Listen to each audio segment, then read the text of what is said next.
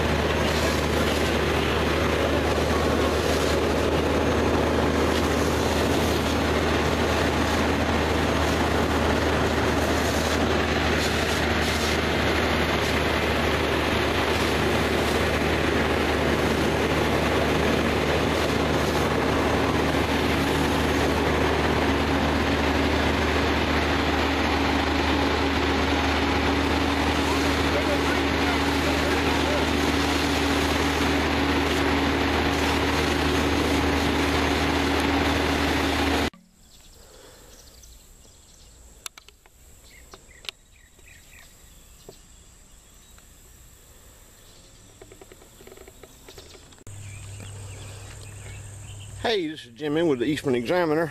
Uh, this is the scene today of a house fire that occurred last night. Uh, looks to be like a going to be a total loss. The house is uh, pretty much gutted.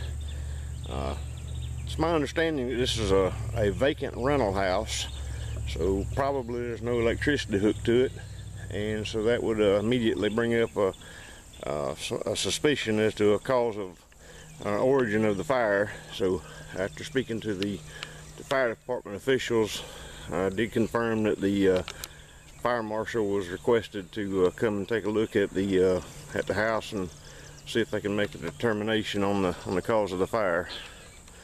But the uh, Eastman firemen did a, an excellent job on this fire last night. I was highly impressed. Uh, I've been to many, many fires over the years in my career, and to be a fully involved fire as this was, the Eastman firemen knocked this thing down. I mean, they knocked it down so fast I couldn't even get uh, my camera going fast enough to get good pictures, which uh, even though we, we would like to get good pictures, it's a good thing that the firemen were, were doing such a good job. They knocked it down too fast. So it's kind of a strange thing to say.